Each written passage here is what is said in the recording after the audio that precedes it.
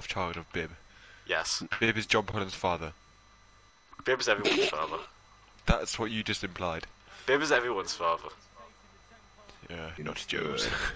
They just hinted. Old Joe man is Joe's through the father. lines.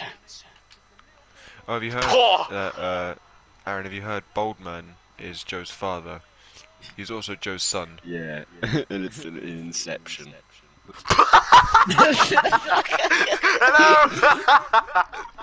Hello. Do I? It says DLC assets. Do I just close the game and restart it? Consideration meds. Uh, we have